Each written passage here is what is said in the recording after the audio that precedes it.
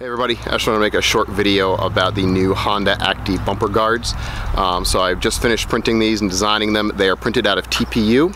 So here's one of them here. They're printed at TPU, so they're flexible and rubbery, um, just like the original. They work really well. Um, they, they slide into either hole just like the originals, and then it comes with new stainless steel hardware.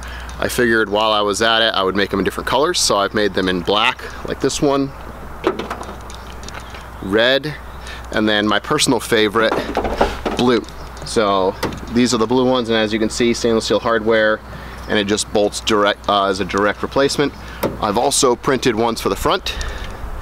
So here are the ones for the front, and these twist and lock in just like the originals. Um, I did my best to match all the dimensions um, as perfectly as possible. Uh, these are the only colors available for now. If I may add more upon request. If you got any questions or concern, uh, just shoot me an email, craig at customish.net, or just leave a question below. Uh, other than that, thanks for listening, and uh, hope you have a great day.